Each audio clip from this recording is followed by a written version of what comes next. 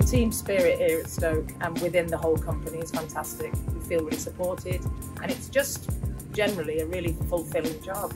I applied, I had um, quite a serious health issue and I've been in the same job for eight years um, but I just felt like a change when I got on the other side of my um, illness I just decided I wanted to do something different and literally I opened up the computer, tapped in jobs in Stoke and the first one that came up was this and it was just perfect for me because I just love everything about the whole concept and I wanted to give a little bit of something back.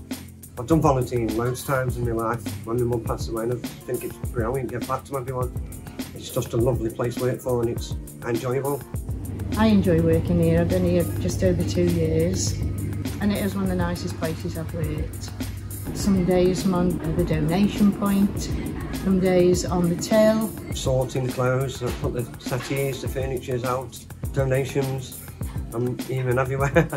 the main aim is to keep the hospice running and to support the hospice, um, which is everybody's primary goal, to make as much money as we can for the hospice. I'd recommend the job to anybody. Don't be worried about if you haven't done retail before, because I hadn't, because you just pick it up as you go along. Come along and join us.